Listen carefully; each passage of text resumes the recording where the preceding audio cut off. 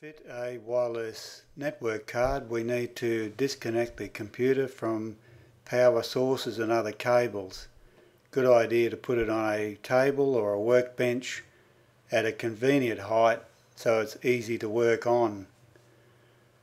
First off we need to remove the panels although in this clip you will see that I'm re removing both side panels of the case but there is only need to remove one and that is the right hand side panel.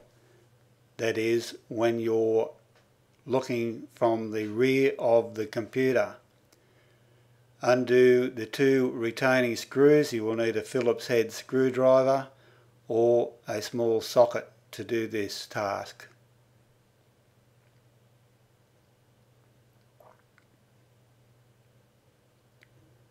Probably a good idea also to have the vacuum cleaner handy as when you remove this particular panel, good idea with a soft brush attachment to vacuum out lint, dust and any other gunk that may have accumulated within the case and on the components. Take a firm grip of the panel and pull it back towards you.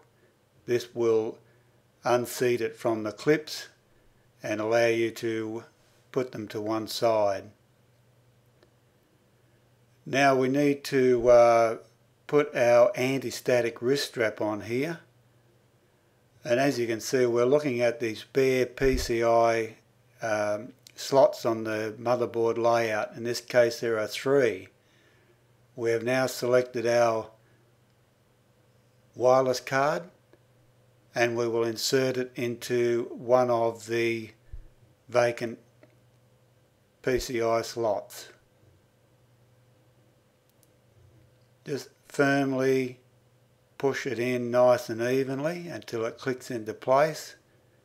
You'll then secure, secure it with a Phillips head screw or small socket.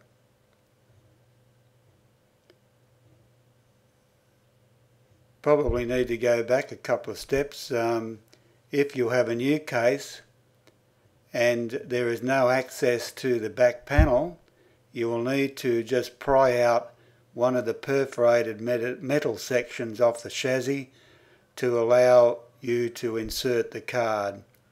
Here the card is inserted. All we need to do now is to screw on the aerials. In this particular case there are three.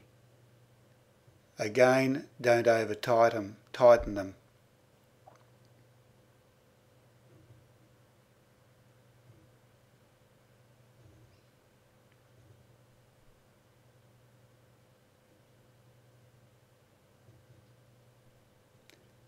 Once we have completed this task, just put the aerials or arrange them in an upright manner and later on depending on how far you are away or your computer is away from the wireless modem will depend on how you then rearrange them to get maximum signal strength. Now we can put the right hand panel back on again, uh, push it forward towards the front of the computer to lock the pins in place and then you can fix the panel on with the screws provided.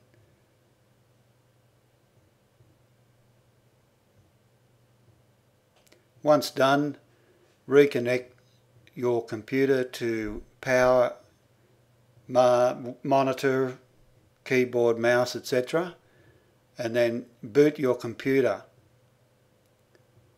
Depending on your operating system, generally it, if it's Windows 7, it will find the appropriate driver and install it for the wireless card.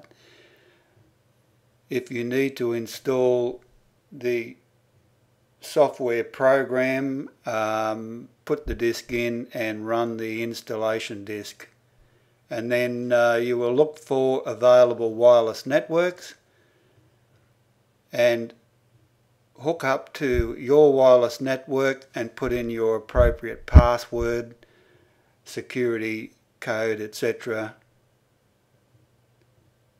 And that's it, the job is done. Congratulations.